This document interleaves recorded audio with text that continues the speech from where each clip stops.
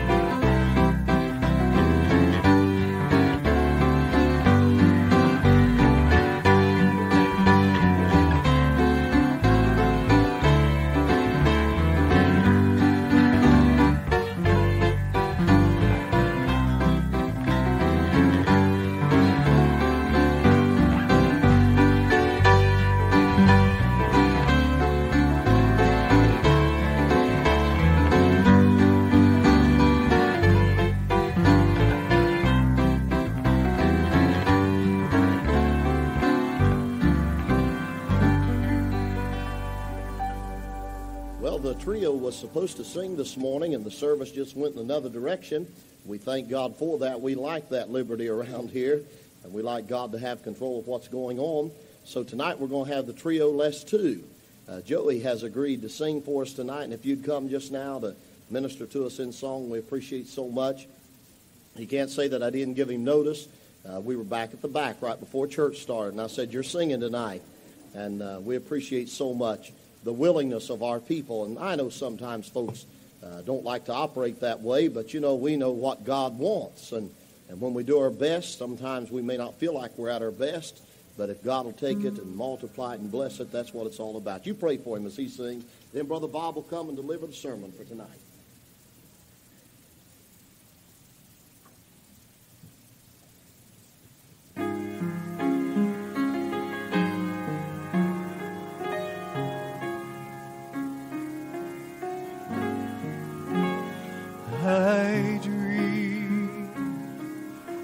Of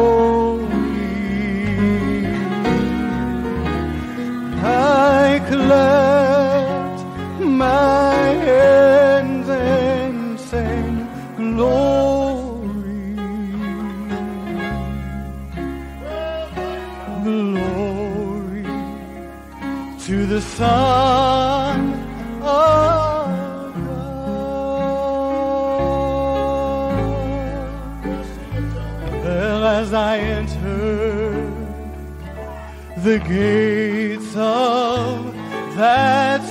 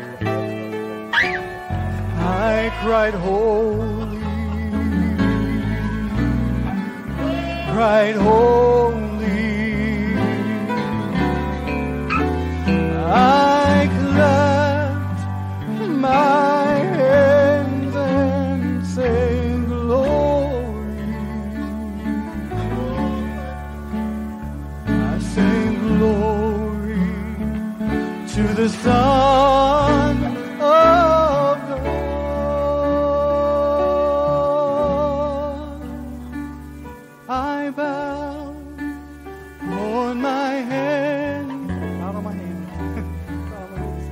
and cried, Holy, holy. I cried, Holy.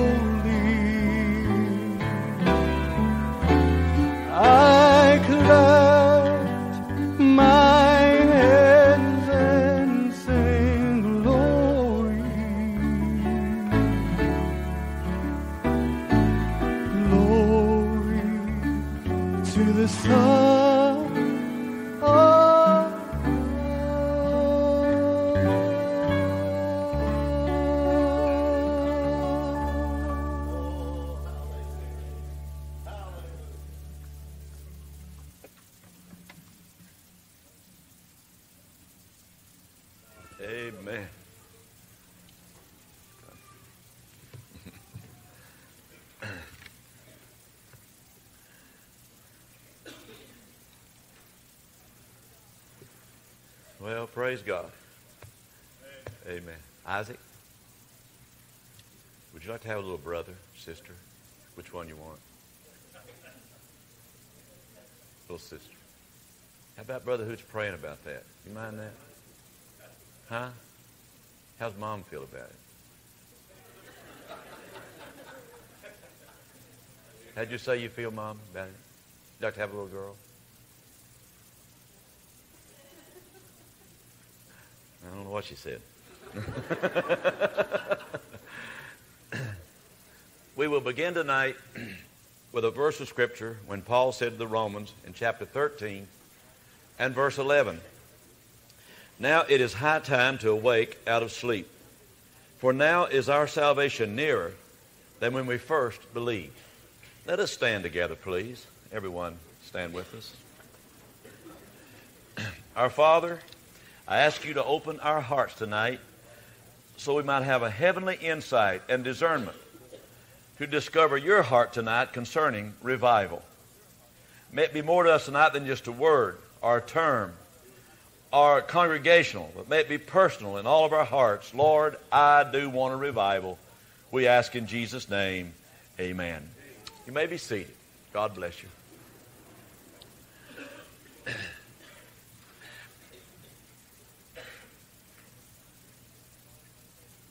Sometimes it is called an awakening. Sometimes it is called what happens among the lost. Sometimes it's referred to as a renewal among the believers. We call it revival. I want tonight to pour my heart out to you for a few minutes, not very long, and I want you to listen. And then open your heart tonight and really take it in, every word. Now, what is a revival meeting? One great revivalist once said, It is a sovereign visitation of a holy God to the hearts of his people. They asked one revivalist once, said, How would you define what a revival is? He said, In one word, God. That's it. It is God among us. It's God getting close to us, and it's us getting close to God. That's why he said in Revelation to the church, not the sinner, but the church, Behold, I stand at the door and knock. And so revival is God getting to us. It is the renewal of the first love. It is the breathing of the breath of God on cold hearts. It's the inrushing of the Holy Spirit into a church body that's just about to become a corpse. That's what revival meeting is all about. It is saints getting back to normality. You know. See, that's normal. I don't know why I always get it backwards, you know. Uh, when I was an evangelist for so long, I'd go to poor old, cold, dead, dried up churches. I know God in heaven was ashamed that His name was even out on the lawn, you know. And uh, we'd have a great big move of God's Spirit maybe on a Sunday morning, a lot of visitors. And the pastor say, now, folk, you who are visiting with us, you come back next Sunday, we'll be back to normal. no, there's going back to the abnormal. The Holy Ghost makes it normal to us. Praise God. It is the extraordinary work of God causing extraordinary things to happen to His people. Now, the Bible has called it the manifest presence of God. You see, it is God visiting us in a very special way. That's what revival meeting is all about. If I could just come here and be your associate, Brother Evans. You know what an associate is? Can you spell it? If I could come and be your associate, see, I could just help you all the time, you know. And you could wear your collar backwards and be pastor emeritus. and give you one of them $19 doctor's degrees, and I could help you with it, see, okay. now, we got some of these new cats around that thinks that revival is not necessary. That it's not even scriptural, you know. One pastor said to me once, he said, I have too much to do to pray. I've got work to do. I've got too much to do to try to plan a revival. I've got work to do. Said, that's why you, said, that's why you're working so hard, son, and getting nowhere. you try and do it all yourself. Now, is revival is a revival biblical? Can I remind you tonight that re, the word revival is used, or that is, or else a word that means the same, 255 times in the Holy Scriptures. So it must be very important to us tonight. Now, let, us look at this circle in the scriptures. As God tries to get to us, this is what makes revival.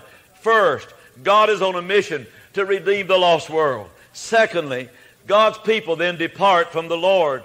In the third place, in beautiful love, now God begins to discipline them. In the fourth place, the people cry out for help.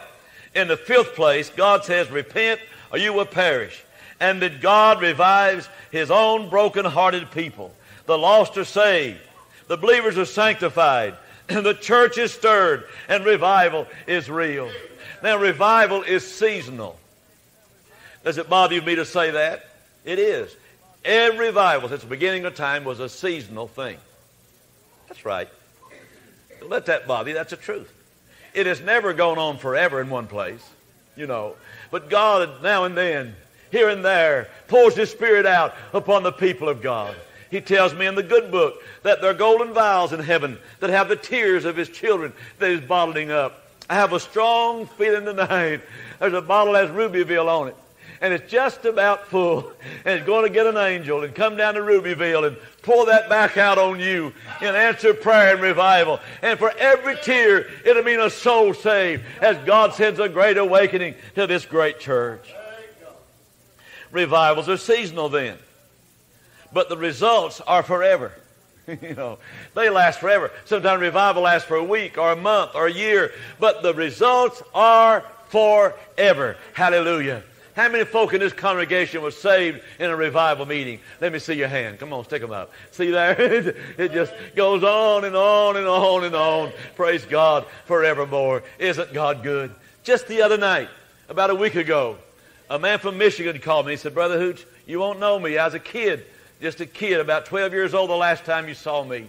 But as you came for revival in Marseilles, Illinois, and my mother was saved for the first time in her life, and I was saved, and my sister was saved. My, my mother got busy for Jesus and said she won her two uncles and she won the rest of the family. He said, I call you to tell you that yesterday we buried my mother in Marseilles, Illinois. Then weeping, he said, after the revival's over, you wrote a letter of encouragement to us, and we read the letter at the funeral. Thank you, Brother Hoots, for coming to our place and having a revival meeting, and I'm glad that I got in. So the results goes on forever. You remember how Jacob's household in the 35th chapter of Genesis had a revival, how they went to Bethel. You remember how Asa in Second Chronicles had a revival, and the Bible said he made a covenant that he would seek the Lord with his whole heart. Isn't that good? Joash had a revival in Second Kings, and the Bible said he held the Lord. In Hezekiah, in Second Kings had a revival when he said, Come near. Josiah had a revival in Second Kings, and the Bible said he was tender and he humbled his heart. Nehemiah had a revival in Nehemiah chapter 9, and he said, We make a sure covenant and we write it on our hearts forever. Hallelujah be to God. The church in Revelation had a revival. Barely 50 years old. The Lord said, Repent and have this intimate love in your heart with Jesus again. I don't want you lukewarm. I don't know how to identify you. And they had a revival, a glorious revival in the book of Revelation. Then the third place tonight, let me ask you, is there a need for revival in the church today? You know, I think the most of us are sleeping our way through the mess this country's in. Somebody said to me today, I'm so concerned about the government. I said, no, no. I'm concerned about the church. As long as the church stays alive, we'll be all right, you know.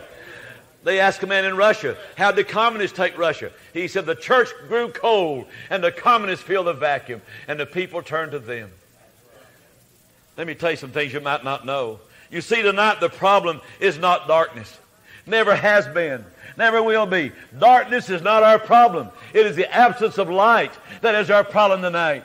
But the Bible said, They that walked in darkness have seen a great light, and He is the light of the world. Glory be to God. But the problem is tonight, the light is not penetrating the darkness. There is not the prayer. There is not the victory. There is not the joy. There is not the testimony. There is not the shine. There is not the reality. And the darkness is smothering us tonight because of the lack of the light. Now, listen, we'll share some things with you. 4,000 churches die and close their doors in North America every year. See? You would never think at Rubyville it'd be that bad somewhere else. 4,000 churches die every year and they auction off the properties. North America is the only continent that is not growing in Christianity.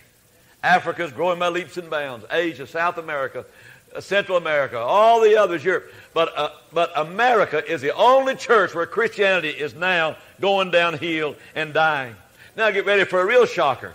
America tonight is the number two country in the world in the receiving of missionaries.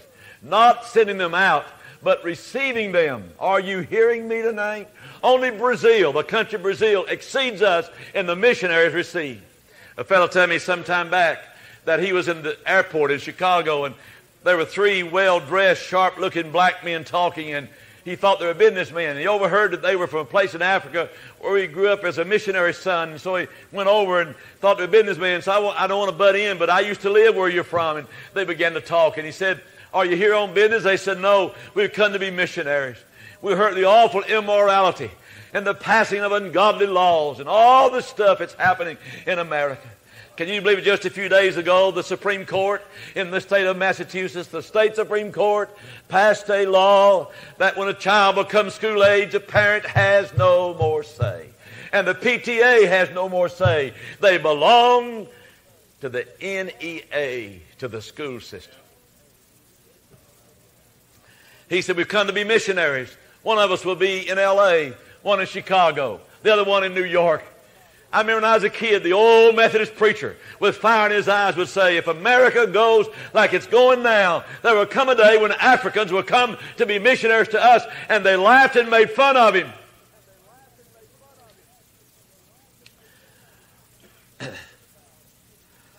Three thousand five hundred people leave the church every day in North America. 3,500 people leave the church every day in North America. 250,000 congregations in America are either stagnant or dying. Think of that. Think of that. I'm a member of a holiness church. Let me tell you, we've got plenty of them that's doing it. Gobs of them that are doing it tonight.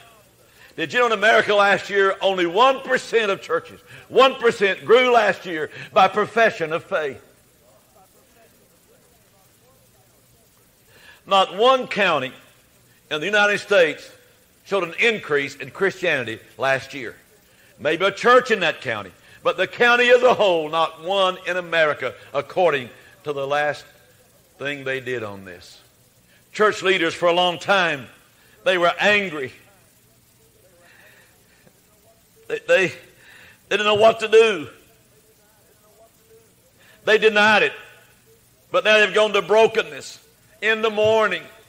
And there are preachers in America tonight that are weeping by the front porch of the tabernacle, holding the horns of the altar, as in God's what's happening in our communities and America. Let me tell you what the answer is tonight. It's a great Holy Ghost revival.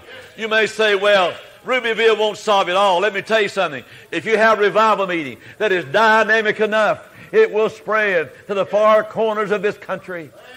My friend Dr. Tony Anderson, did he ever preach in this pulpit? Tony ever preacher? One of the greatest pulpiteers the holiness movement ever had in America. He was a teacher, he had the Bible department at Asbury College when revival came, and he was a human instrumentality back of that revival meeting. It, it went like you would not believe. The week after this, I heard him preach in Nashville. The Holy Ghost was on him. He would, say, he would stop and say, Wait just a minute. There are three men in the balcony who wants to come and get saved. Will you sing the course again? Three men would walk out. Never once for a week did he miss it. when the whole over to the altar, he'd go down and say, Brother, sister, why don't you so and so? That's your problem. See about this. And not a one did he miss. And God was on him. You see, they weren't playing church. They weren't playing church in those days.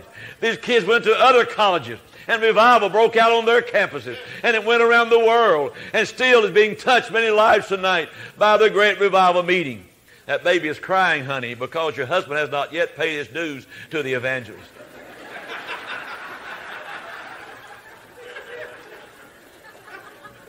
The Lord of heaven knows if you don't pay me what you owe me tonight before you leave, that baby will cry all night. You won't sleep a wink.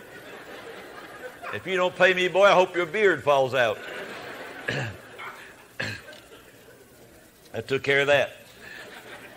It is sort of like putting a frog in a kettle of water. You see, if you put a frog in boiling water, he will immediately jump out to safety. But you know what they've tried? Put him in warm water gradually turn the heat up just a little bit a time, and he'll sit right in there and die and boil to death. It happened in the church. The devil rocks us to sleep little by little by little. We aren't anti God. We're not pro sin. We're just rocked to sleep. We come every Sunday, sit in the same spot, look the same way, but there's no stirring in our hearts, and we are being rocked to sleep. In the book of Judges, the Bible tells us about Samson. And he wist not that the Lord had departed from him. He didn't even know that God had left him. Just going right on. You see, let me tell you when we need revival. When we're empty of God and full of ourselves. And in our day, we are so full of ourselves and so empty on the Lord. What are the signs of backsliding so that we know we need revival? When prayer is no longer a vital part of things. When we have no quest for biblical truth anymore, and we're content to know three verses and try to get by on that. When eternal things don't grip us anymore. We don't think about hell and heaven. We don't think about the value of a soul. We don't think about our neighbors dropping into hell. We watch TV, read the paper, go to work, do our thing, never with eternal values gripping our hearts like they once did. Church services lose their delight. You endure it. When other folk get blessed, it makes you miserable. The more God moves, the colder you feel. You need a revival in your life. When sports and recreation and entertainment become such a large and necessary part of your life, when you can't wait to get home on ch- from church on Sunday morning to see the ball game because this means more to you than the worship of God, I tell you, neighbor, you're in deep trouble. You see, when sin no longer creates an uproar in your conscience, you are in trouble. When money and goods become your God, then you are in trouble. When you watch degrading movies and dirty TV and read trashy literature and doesn't bother you anymore, you know, like you ladies buy that's close to the cash register at the grocery store.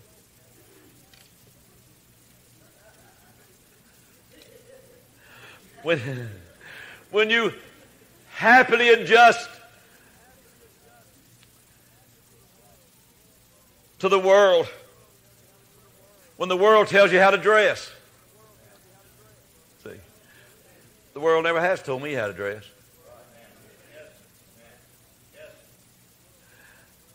When the world tells you how to dress, tells you how to talk, tells you how to act, what to do, where to go, and the world owns you. You see, the Bible said, and love not the world, nor things that are in the world. For if any man love the world, the love of the Father, then is not in him.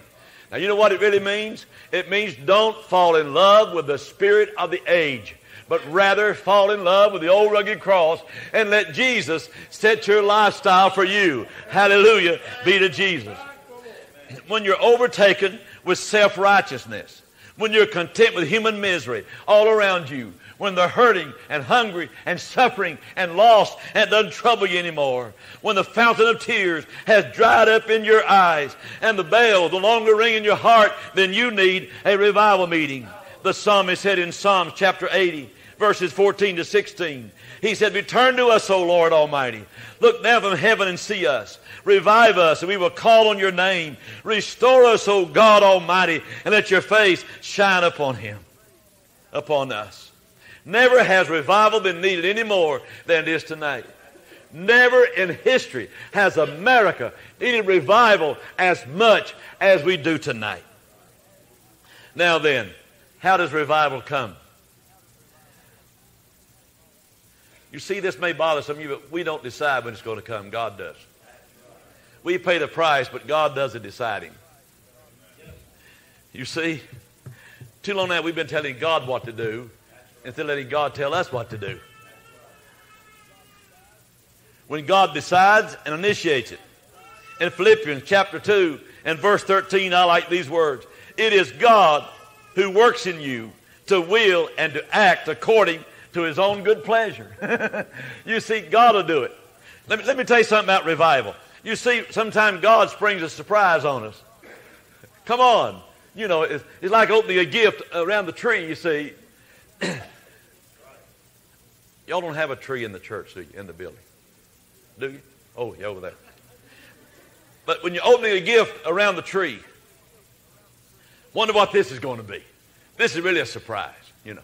All at once on God's dear children, He surprises uh, us with revival. The week, I guess, of was the night of Halloween. I think it was on Saturday night, wasn't it? There was a little bitty Nazarene church over the country had a revival meeting that week. I knew nobody much had come on Halloween night. And I've been where they were, and I was concerned about them. So I drove about 75 miles over to this revival meeting on Saturday night.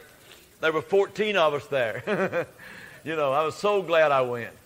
And uh, would you know that right at the close of the service, the, the, the pianist that was the singer, song evangelist, is, is such a marvelous lady. She is dynamite. She is Holy Ghost filled. She sang for many years with the Lefevres. You remember who the Lefevres were. And then the wayward life got her, and she came to drunk on a parking lot at a bar, and somebody helped her home, and she prayed that night, and the Lord Jesus touched her life, and for years, what dynamite that woman has been.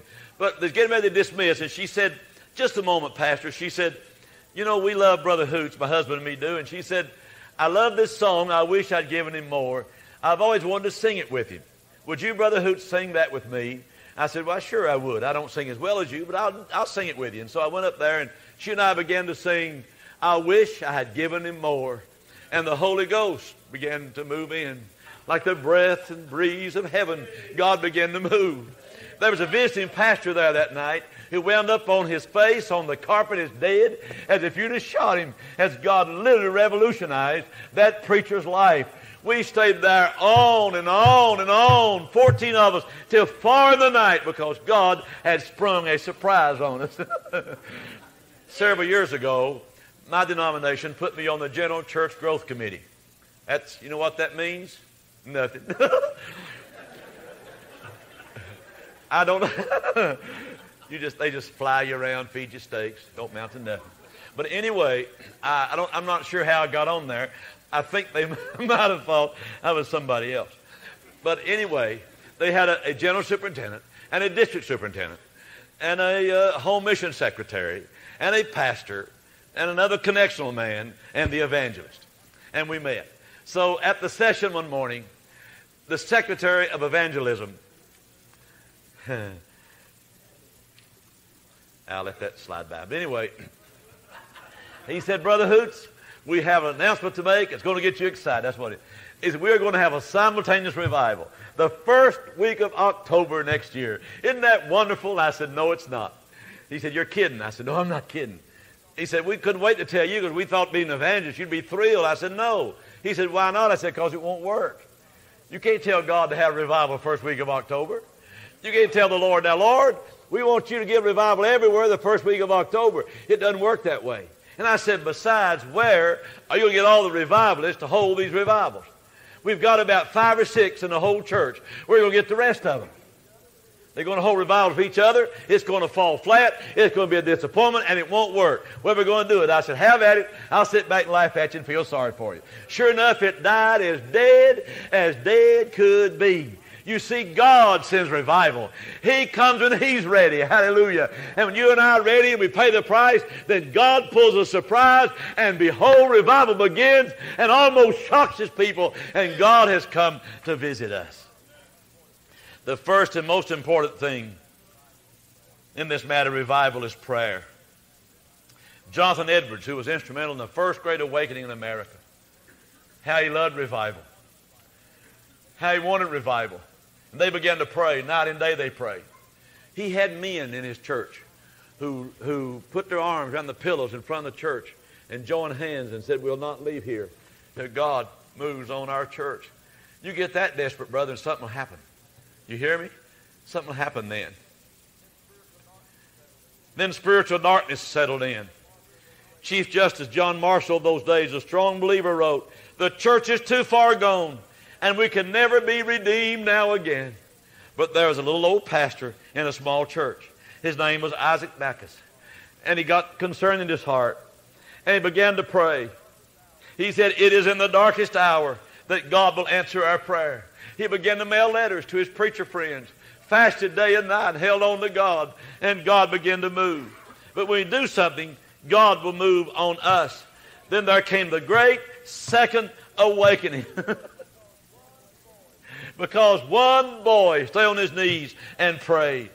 But you see, to have revival, we got to break down the dividing walls. We can't live in our own little bitty world, you know. Prejudice, and preconceived notions, and self-righteousness. And got to do it like Pa and me are doing it. You know, you'll kill it all. I got news for you. If somebody stand on the roof and gargle peanut butter and get somebody saved, start gargling. It may not be the way I do it, but if you can get somebody to heaven, brother, go at it. And all the people said, Amen. But you see, when revival comes, we forget our little old, this is what I think about it. And God breaks down the walls of partition. There was a man flying from, from America to England. As the plane was coming into land, he saw these beautiful stone walls out in the field. And he said to the flight attendant, Look at those beautiful walls everywhere. A few weeks went by and he flew back later and he said to the flight attendant, I can't see the walls anymore. She said, I know. It's harvest time. You can't see them now. When harvest time comes and people's getting saved and God's moving, we don't worry more about having our way and building the wall and erecting our fence. We just say, we love everybody. Come on in. Let God move on us and he'll save your soul. Glory, hallelujah. Well, I'm having fun tonight. I'm tempted just to preach all night, but maybe not. In a third place, you need a thirst for God. You know, I don't want anybody's sympathy. I'm not trying to be emotional. But I spent the most of my life trying to give a drink to folk that weren't thirsty and tried to feed folk that weren't hungry.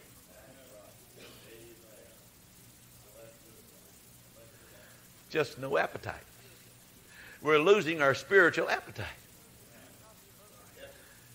Not hungry for spiritual things like we ought to be.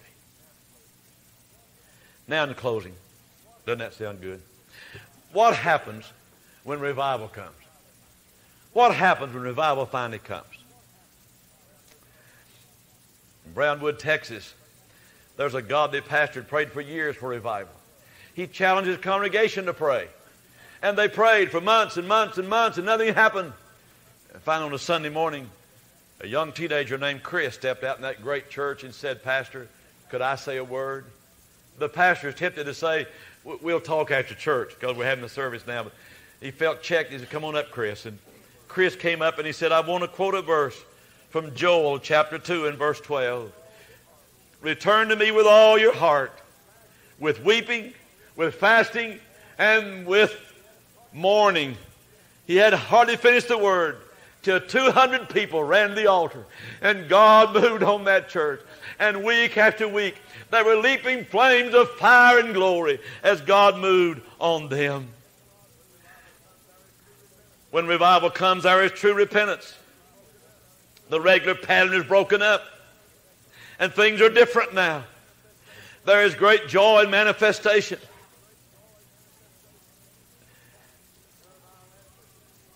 Jeremiah Lanphier, many years ago, became very concerned about the need of revival. He began to fast and pray the noon hours, a businessman. He asked others to join him. And the prayer meeting began to grow, and it grew, and it grew, and a great crowd began to pray. At the height of that prayer revival, there were 50,000 people a week getting saved because they were praying. Are these just words to you tonight? They're not, are they? Are you taking this in? Are you?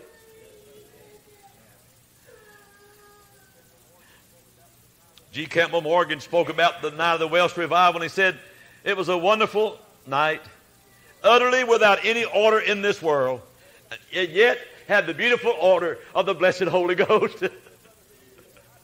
you may say, Brother Hoots, I'd love to start a revival. How, what can I do to start one? Let me tell you what to do. Everybody, go home tonight, get you a piece of chalk, stand there on the kitchen floor, and draw a line around yourself with that chalk and start your revival inside that circle. Don't look at somebody else. It'll have to begin with you. The old timers used to have what they call the holiness zones. Did you read about that, son? I mean, brother? They had their holiness zones. They said, this, this zone here belongs to God. we have preached and believed in holiness. You ought to go down to Asbury College sometime to Wilmore and, and walk down Holiness Road in the cemetery in that town. You know, old Brother H.C. Morrison and all those other people, you know. One of them, says on his tombstone, follow peace with all men and holiness without which no man shall see the Lord. Another one says, sanctify them through thy truth. Thy word is truth. My favorite one was this. Here lies a man that received and believed and preached the blessing of entire sanctification.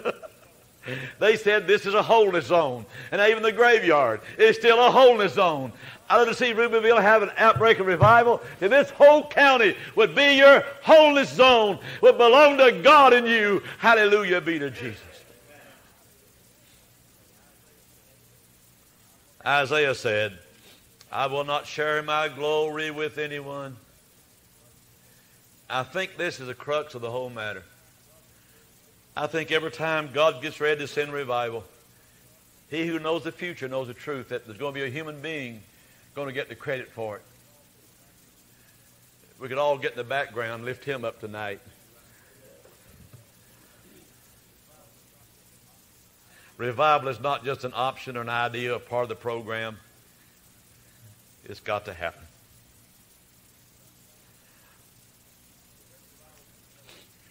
When the Great Revival took place in eastern United States, the Great Awakening, and folks for the thousands were praying, there was so much of God that the ship coming to shore would sense it hundreds of miles out to sea.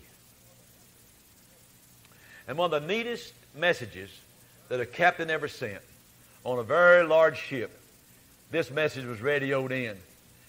Get a minister quick everyone on board is on their knees. and they said that sometime the cloud of the Holy Ghost was so heavy and the Shekinah so heavy you could hardly see in the middle of the day. I tell you, folk, we are content with too little. Did you hear me? It don't take much to satisfy us anymore. Just a tear or two now and then, a little raised hand now and then. I feel better. Hallelujah, I'm going home, coming back again. We need to stop where we are and tarry until we endue with power from on high. We must stop where we are and stop everything else till revival has come to our life. Let us all stand together, please.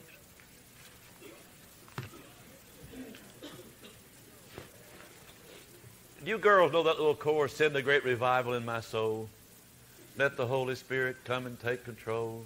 and send a great revival in my soul. No, you don't know that, do you? Okay.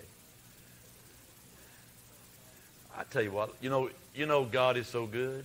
Let's just sing that. Let's just sing. Okay. Yeah. Well, I'm sorry. I looked at the wrong one. I'm sorry. It's you. Okay. Now, really tonight, I don't know how to say much about what I'm getting ready to do. Um, you don't know if you ought to say altar call or call it something else. Um,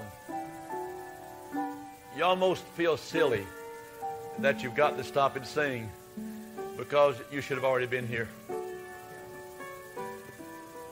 I wonder how many folk in this congregation say, Brother Hoots, I'm not playing games tonight. I'm not going to come down there for a minute and go back to the old rut. I'm going to come and pray, Lord, instigate a revival in my life tonight. Start a revival in my soul. And then, Brother Hoots, I'm going to work on it here. I'm going to home work on it tonight. I'm going to stay with it. I'm going to stay at it till all my neighbors and all my church and all my family knows that I'm having revival in my life. I'm going to get desperate, Brother Hoots. Now, if only one comes, I'll be happy. Bishop McSheen said, I'd rather see one man godly than to entertain a thousand. So if just one comes and really has revival, it'll be worth me coming to a high for. I can assure you of that tonight.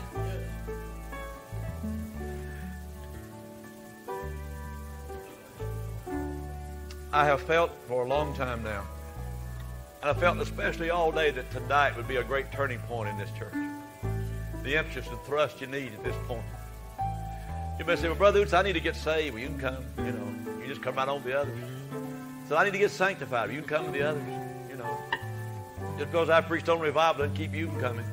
I noticed something else. Folk under conviction, it don't matter what the preacher preaches on. They don't hear much of it anyway. They're about to die. And some of you folk here tonight just barely can stand up. You're under such deep conviction. But we're going to sing this little chorus. How many here said, Brother Hoots, I'm coming because I'm dead serious about this thing. I'm going to have revival in my life. If I never sleep and never eat again, I am going to mind God that I have revival in my life. Not a little temporary, shallow, feel good thing, but a Holy Ghost revival, a, a life changing revival in my life. I want you to come and tell it to God while we sing it, all right? God is so good. God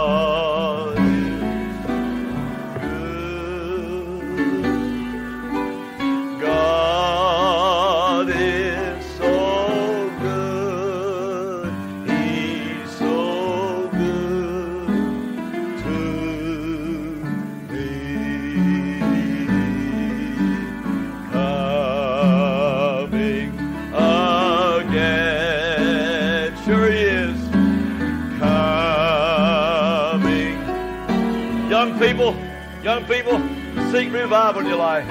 Young people, seek revival in your life tonight. Oh, how you need it. How you're going to need it in the days to come.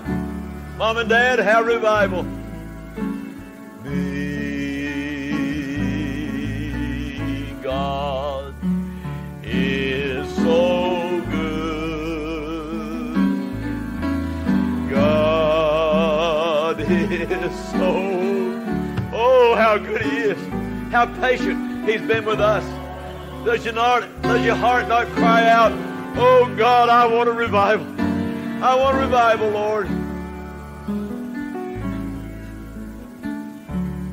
Now, dear Lord, we feel like we have preached tonight something that's terribly important. We haven't just preached a sermon, but we preached what was important tonight. Show us out, Lord, that revival is more than just a series of services and more than preaching and singing. It's a dynamic of the divine in our hearts. Lord, take us to new heights and new depths. Take us, Lord, where we've never been before, I pray. There are enough people around this altar tonight that's going to have revival in their life to change our country, to change this community. Oh, God, as they seek revival, as they go home tonight and pray tonight and pray tomorrow and days to come. Let revival continue in the hearts of our people, I pray, till the devil defeated and a great awakening take place. We ask in Jesus' name. Amen and amen. I want you to just stand here around the altar a minute before you leave, all of us. Let's just stand here. I want you, ladies, to find that song that says, Sweeping This Way, over the hilltops, down from the sky, coming from glory, lift up your eyes. The title is Sweeping This Way, and I, I guess it's in the book. I don't know. That's it. You're getting close.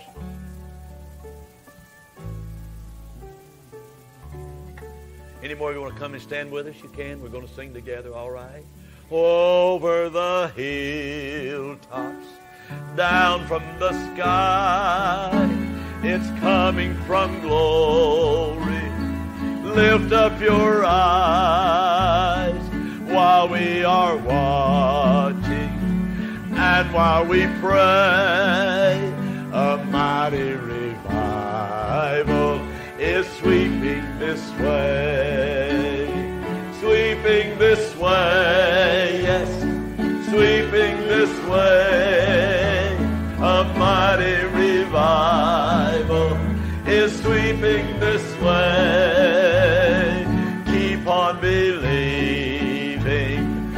Trust and obey.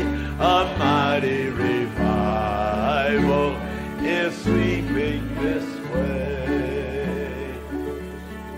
Brother Evans, I think we're just on the edge of something really big. Yes, I know you've had some good days, but not like you're going to have now. It's going to defy description. You won't even be able to get a hold of words that can explain it. Folk will marvel. As he said in the Old Testament, before this is over, sons and daughters will be carried by your side. And the heathen will arouse and say it's wonderful. Glory to God. Revival is coming this way. Blessed be God. Amen. This crowd has come to say we're going to stay at it till it happens. We're not quitting. Yes. We're serving notice on old Splitfoot that we're going to have revival in our life no matter how much it costs us. Amen. Praise God. What fun it's been to be with you today. You have meant so much to me, you know. To be honest with you, I was a little bit weak this morning, and I'm getting a little bit weary in this fast thing, but I tell you, today I felt like I never have fasted. God just gave me strength for the day. You know, you wouldn't have known, would you? You wouldn't have known. I mean, I was back to my old self tonight. Before I got gray like some of my friends. I tell you, it's been fun being with you today. I love you, Brother Evans, and your beautiful family. I love you. And I love all of you tonight. You're my family. I'm going to heaven with you. You're going to be neighbors forever together. I know that's not the most pleasant thought to go through all the battles here and finally make it and see old Hoots next door grinning. We, we're going to heaven together. We're family. We're going to heaven together. Amen. I had two or three folks stuck some money in my hand. I want to thank you. I want to thank you. I don't. I can't keep up with names I, I, anymore. I can hardly remember anything. I had to call information here a while back to get my phone number. That's serious. I really did. I mean to tell you, it don't click like it used to. so just whoever you were, thank you, Brother Evans. Heads are bowed for just one moment, Brother Bob looking on and myself, I just feel led to do this tonight. Every head bowed, only Brother Hoots and myself looking on. He's praying, fasting for 30 days for revival and a great awakening to come to our area. You haven't come forward tonight, but you need a touch of God spiritually upon your heart. Maybe right now, before we dismiss the service, you'd at least be honest enough where you're at Yeah. to slip your hand up and take it right back down and say, Brother Bob, remember my face. Amen. Pray for me. I need a touch from God. Yes. God bless your heart. God bless your heart, sis. God bless you. Bless your heart. Hallelujah. Hallelujah. Someone else, just slip up your hand right now. Pray for me. Pray for me. Pray for me. I believe I'd do you an injustice tonight if I didn't do one thing before we dismiss. Brother Bob's right here at the front beside of me. Those three precious people that raised your hand. Let me tell you something. I know how hard it is to come out of a seat. I know how hard it is to fight the enemy.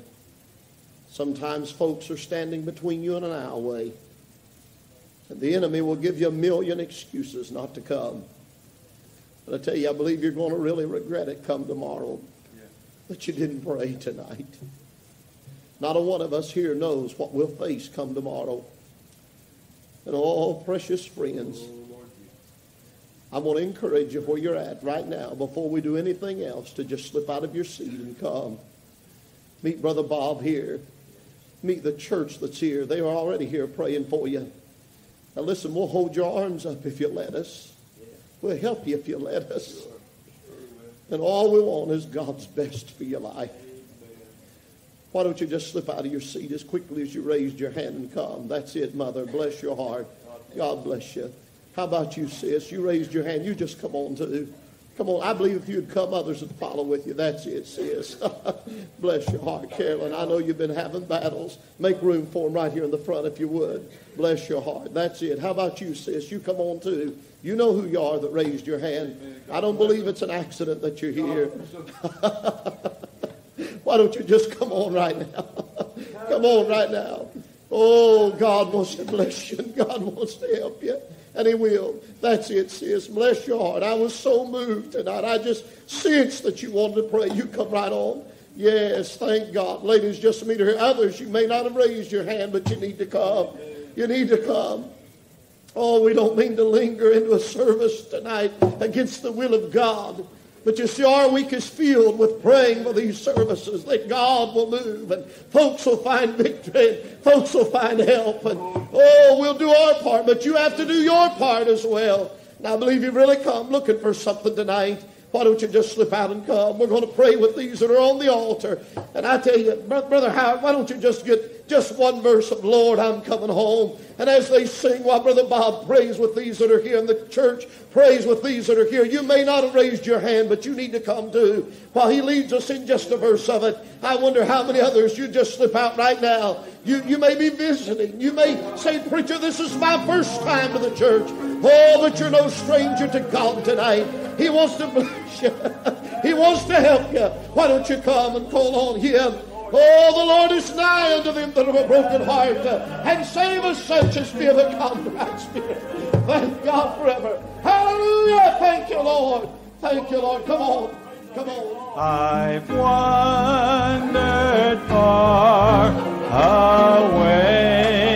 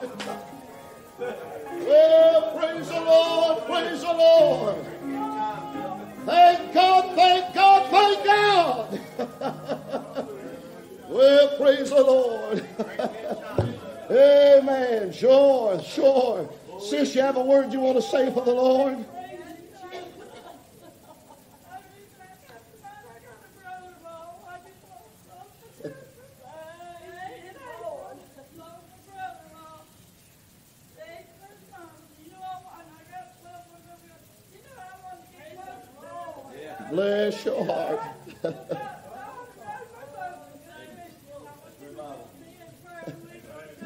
well, thank God. Carolyn, you have a word you want to say for the Lord? Hallelujah. thank God. Sis, back here. You have a word you want to say for the Lord? Well, thank God. Has the Lord answered your prayer? Helped you tonight? Thank God. We love you. Thank God. Lori, tell them what the Lord did for you. hey, John, go ring the chimes. They're ringing. The chimes are ringing. John said the chimes are ringing. Every time a soul gets saved around here, Bob, we ring the bells. Bells are ringing in heaven. Thank God. Hallelujah. The Lord still saves people, turns lives around. Oh, glory to God. well, bless the Lord. Have every right to praise God. Thank God every time the Lord turns a life around, we all rejoice at what God's done. Hallelujah. Thank God forever. Well, glory, glory, glory. My, what a meeting. What a meeting. What a meeting to be without a hanky. Amen. Thank God. God has just blessed in a wonderful way today. We want to encourage you. Get to all of these folks that have come forward and prayed. And be sure to let them know you're praying for them. They need to know that you're going to encourage them. Be sure to, be sure to communicate with them. We need to lift one another up. And oh, thank God. You know, there, there's so many new converts coming in. It's hard for, for me to keep up with all of them. I need your help. I'm asking you to reach out to them and encourage them and be a blessing to them. God will use you to do that. Sometimes it's just a phone call or a card or a knock on the door at just the right time, and that'll boost them and encourage them. And let's let's keep going out and working, reaching out to those that need the Lord. And all I don't know, it's just been week after week after week the Lord has blessed us to see souls saved. That's what it's all about, folks. Thank God may Rubyville be in revival when Jesus comes again. Let's do all that we can to reach out to those that need to hear the good news of Christ. Thank God. Have you mind of the Lord tonight? You know, Pastor?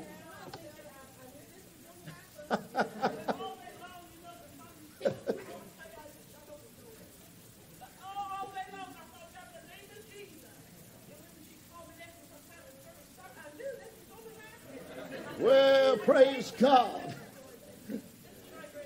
Your granddaughter. Well, bless the Lord. Hallelujah. Who? Come up here and see Brother Hoots. Let me see. She's in the second grade. Lord's little girl. Isn't she beautiful? Amen. You know, somebody's always asking, well, what is the church? And what do they do with all the money? And on and on and on. This is where it is right here. Amen. This is where it is. We're going to provide a warm, beautiful, godly place Thank for this God. child to worship and grow up in. Amen. Amen. Thank you, honey. Amen. Amen. Amen. Well, glory. Yes.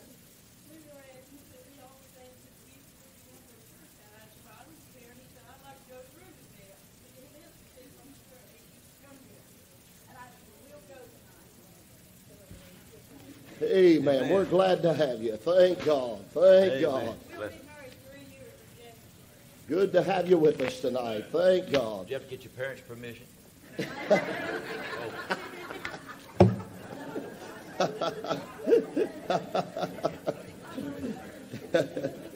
I have just a couple announcements. Remember Wednesday night prayer meeting, and then Thursday night will be our New Year's Eve service. Brother Don Bach will be preaching, and also Sound Advice will be here singing. And uh, I want the youth to turn out as well. We're hoping to use them uh, for maybe one or two songs as, and on that night as well. And we'll be using our choir for a couple songs. And rather than worry about going till midnight, we're just going to concentrate and pray on having a good service. Then when service is over, we'll go up to the fellowship hall, whoever wants to, uh, for fellowship afterwards. So we want you to bring your unsaved loved ones. What an opportunity to reach them. And I, we want you to invite them as well. Also, uh, we encourage you, you're all invited, the entire church is invited to go up to spare time in Ironton, Ohio on New Year's Eve night. They'll be leaving the church around 12:15 a.m. That's right, 12:15 a.m. after the New Year's Eve service. They'll all be leaving here, and they have the facility rented from one o'clock on. They have bowling, uh, skating, laser tag, other activities. And, and please listen to this: all children under the age of 11 must be accompanied by a parent. And if you have any questions, please see Tim or Donnie on that. So uh, you're, you're, all invited to go. They have a great time up there, and they just open it up to the entire church, and we appreciate the youth group doing that. And it's a special night for them, and we'll be giving you more details on what time they'll be back in so parents can pick up their children as well, okay? Any other announcements, anything I've overlooked? Yes, there's flowers here across the front, some poinsettias. If you haven't uh, picked up your poinsettias yet, we don't want them to die. Uh, they, and there's no way of taking care of all of them from service to service. So if you brought poinsettias in memory of a loved one, please feel free to pick those up, okay? Any other announcements? Sure, she'd like to be anointed. I tell you what, we'll just anoint her tonight, and following that, you can just consider yourself dismissed. Sure, we'll ask the preachers and deacons to get around if you would.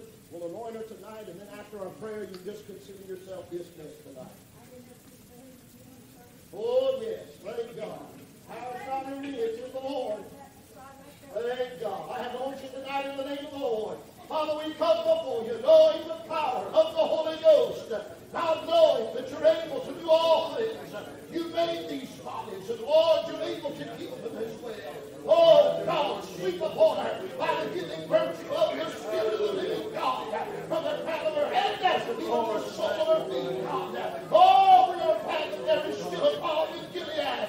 We realize the Father can only come because the tree is pierced. And Lord, we pray tonight that the precious work of God will be manifest in her life. Grant divine healing unto her, we pray.